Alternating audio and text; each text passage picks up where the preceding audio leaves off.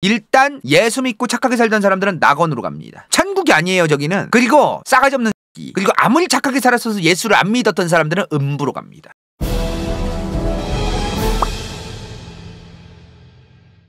이 세상에는 다양한 종교가 있죠. 근데 이 많은 종교를 사람들이 믿는 이유가 솔직한 얘기로 뭐예요? 지옥 가기 싫어서 지옥 가기 싫어서. 그 종교를 어릴 때부터 당연하게 여기고 믿어온 사람들, 뭐 믿고 싶은 어떤 개인적인 신념 이런 게 따로 뭐 있지 않은 이상 굉장히 많은 사람들이 일단은 지옥 가기 싫어서 믿는 사람들도 굉장히 많다는 거죠. 그래서 궁금하더라고요. 종교별 천국 지옥. 그 교회 다니는 분들은 기본적으로 천국 지옥 개념이 있잖아요. 그래서 오늘은 전 세계 종교들 중에 주류 종교 저기 네 개 있죠. 기독교, 이슬람교, 불교, 힌두교 이 주류 종교의 사후 세계만 오늘 보도록 하겠습니다. 이게 종교에 앞서서 참 재밌었던 게 뭐냐면 지금 가톨릭, 개신교, 정교회 이거 셋 다 합하면 뭐예요? 기독교야 기독교. 그리스도교를 한자로 하면은 기독교인 거예요. 그러면 가톨릭, 개신교, 정교회 셋 다 기독교인 거죠, 그죠? 그리고 유대교까지 포함해서 싹 다 어디서 튀어나왔다? 중동아랍에서 튀어나왔다. 지금 보면은 원래 다 유대교였어요, 지금. 원래 유대교가 있었고, 이 유대교에서 예수라는 존재가 탄생하면서 그리스도교, 기독교가 튀어나왔는데, 또 이 기독교가 이러쿵 저러쿵 하는 과정에서 가톨릭과 동방정교회로 갈라지고, 또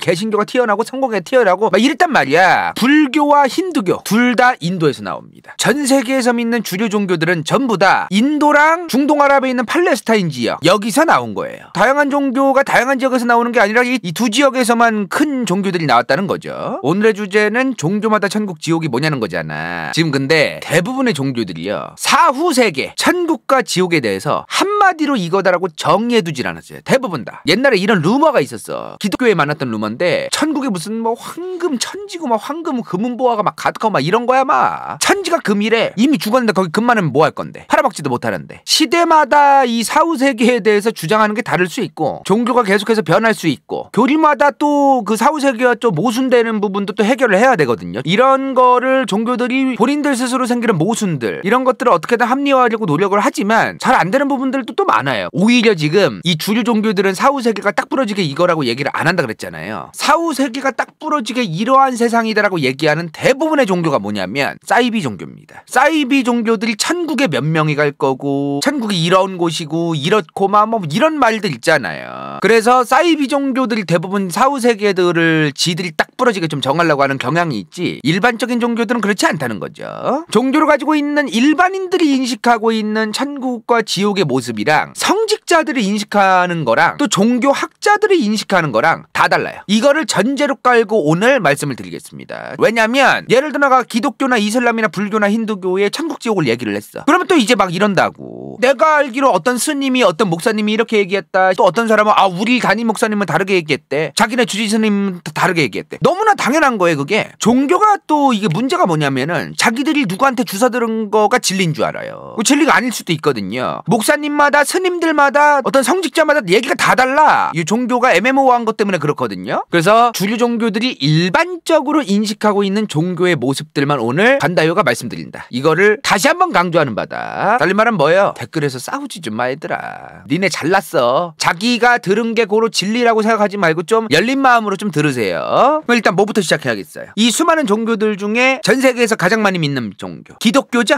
자, 기독교. 그 중에서 우리나라에서 많이 믿는 게 뭐죠? 개신교입니다. 다시 한번 강조하지만 이거 자꾸 교회 다니는 분들 때문에 더 사람들이 헷갈리는 건데요. 자기들만 기독교인 줄 알아요. 오늘 간다이가 분명하게 말씀드립니다. 기독교는 그리스도교예요. 그리스도를 섬기는 모든 종교가 기독교입니다. 그럼 뭐야 지금? 우리나라에서 많이 믿는 개신교, 정교회, 그리고 천주교죠. 가톨릭이라고도 하고 싹 다 그리스도교인 겁니다. 가끔 자신 있게 이제 댓글로 옛날에 이제 간다요가 기독교 역사편 올렸을 때 기독교는 우리나라에서 믿는 거고 천주교랑 정교회는 다른 거죠. 똑바로 알고 얘기를 하셔야지 헷갈리셨나 보네요. 이런 댓글 다시는 분들이 있었어요. 그런 거 볼 때마다 어떤 생각이 드냐면 본인이 알고 있는 거가 당연하다고 얘기하는 그 어투로 말하는 그 믿음이 참 이게 세상을 참 좋게 만들 수도 있지만 어떻게 보면 개박살 낼 수도 있는 거구나. 어, 이런 생각이 좀 많이 들어요. 지금 기독교가 뭐죠? 아브라함 계열 계열의 종교입니다. 아브라함 할아버지 알죠? 그 성경에 나오는 분. 아브라함을 시작으로 유대교가 시작됐다고 봐요. 그리고 그 아브라함 계열의 유대교에서 이슬람교가 튀어나오고 기독교가 파생됩니다. 그래서 유대교와 이슬람과 기독교, 가톨릭, 개신교를 싹 다 합해서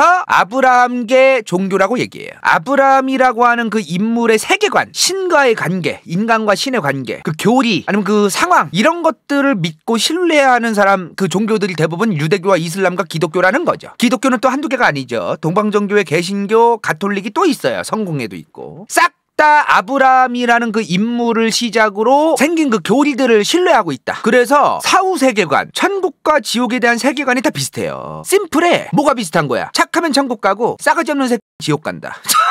지금 이 아브라함계 종교 중에서 가장 오래된 종교가 지금 유대교죠. 근데 정작 지금 이슬람이나 기독교, 가톨릭, 개신교 이런 데선 사후 세계에 대한 얘기들을 좀 많이 하잖아요. 유대교는 사후 세계에 대한 얘기를 별로 안 해요. 나중 가서 천국, 지옥 같은 개념들이 유대교의 내부에서 자기들끼리 주장하는 사람들에 의해서 만들어진 거야. 원래 초기에 유대교에서는 그런 사후 세계에 대한 개념이 없었다. 유대교에서 사후 세계, 천국, 지옥 같은 개념이 생긴 것이 조로아스터교라는 종 종교의 영향을 받았을 것으로 추정됩니다. 조로아스터교가 뭐냐면 이 아저씨가 조로아스터예요. 어, 이 조로아스터라는 사람을 중심으로 이제 뭐 그런 종교가 있어. 굉장히 복잡해. 여기를 다 설명하기 좀 에바고 조로아스터교가 이란 있죠? 이란 지금. 여기는 사우디랑 인도, 아프간 사이에 요 이란이 있어요. 이 이란이 어디요? 페르시아 지역이죠. 페르시아 지역에서 여기에 옛날에 살던 조로아스터라는 사람이 있었어. 이 사람이 뭐 기원전 2000년 전에 살았을 것이다. 아니면 뭐 기원전 막 800년 전쯤이었을 것이다. 아니면 기원전 550년 전쯤이었을 것이다. 의견 이 다 달라요. 조로아스터라는 저 인물이 도대체 어느 시대에 살던 사람이고 어떤 의견을 얘기하던 사람인지가 명확하지 않다. 아무튼 이 양반이 이 조로아스터 교회에서 착 하면 천국 가고 나쁜 새끼는 지옥 간다. 이런 사후 세계, 천국 지옥 같은 교리가 있던 종교거든요. 그럼 뭐야 지금? 원래는 유대교에서 사후 세계에 대한 교리가 별로 없었는데 조로아스터 교의 영향을 받아서 유대교에도 사후 세계라는 천국 지옥이라는 개념이 생겼을 것이다라는 추정이 가능해지는 게 있다는 거예요. 이게 이제 종교학에서 추정하는 거죠, 이게. 그럼 뭐야 이게? 대한 대한민국에서 많이 믿는 개신교. 개신교가 지금 유대교에서 시작해서 예수 탄생 이후에 기독교라는 개념이 생기고 그리고 천주교라고 우리가 부르는 가톨릭. 그럼 러시아나 우크라이나 에서도 많이 믿는 정교회가 있어 여기. 근데 지금 개신교가 뭐냐면은 근본주의, 근본주의의 영향을 받은 종교예요. 뭔가 그런 거 있잖아. 우리나라 사람들 사이에 편견이나 선입견이라고 할 수도 있지만 실제로 본인들이 또 만들어낸 거긴 한데 우리나라 개신교, 교회 이런 데서 보통 타협을 안 보려고 하는 게 있어요. 다른 종교는 다 잘못됐고 이런 식으로 행동하시는 개신교 신도들이 실제로 우리나라에 꽤 있어요. 그분들 때문에 개신교 하면은 다른 종교들을 도저히 인정해주거나 뭐그 배척까지 하려고 하는 이미지가 좀 있는 것 같아 우리나라 안에서. 근본주의가 뭐냐면은 영국이랑 미국에서 시작된 그런 영향인데 성경에는 단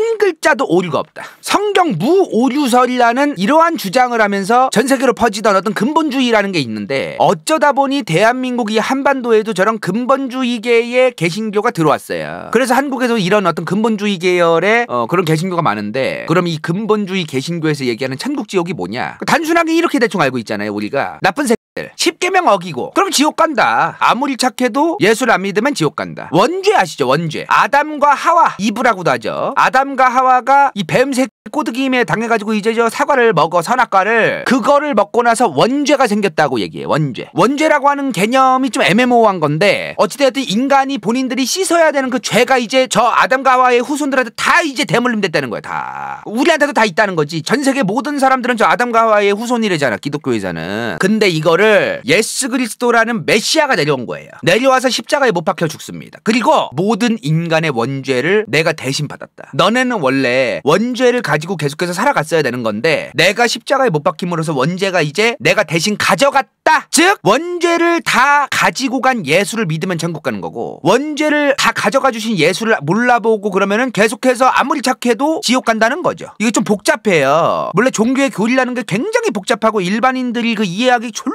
게 어렵게 만들어놔. 굉장히 많은 종교들이. 그래서 일반인들이 본인들 스스로 막 지들 편한 대로 막 그 왜곡하고 막 그런 식으로 받아들여가지고 종교를 믿는 경우도 굉장히 많아요. 이러한 상황 상황에서 이제 천국과 지옥 개념이 있다고 하는데 교회 다니는 분들도 자주 들었던 그 천국 지옥에 대한 내용이 아마 본인이 알던 거와 많이 다를 겁니다. 자, 이게 개신교의 사후 세계예요. 목사님들도 이게 복잡하니까 일일이 설교 시간에 디테일하게 설명을 잘 안 해주더라고. 나도 어릴 때 교회 다녔지만 천국과 지옥만 알고 있다고 생각하잖아요. 전혀 아닙니다. 예수를 믿고 그리고 착하게 살아온 사람들은 죽어. 그리고 싸가지 없는 애들도 죽잖아요. 그러면은 일단 예수 믿고 착하게 살던 사람들은 낙원으로 갑니다. 천국이 아니에요, 저기는. 그리고 싸가지 없는 그리고 아무리 착하게 살았어서 예수를 안 믿었던 사람들은 음부로 갑니다. 저 음부가 뭐냐면 지옥의 하위 버전?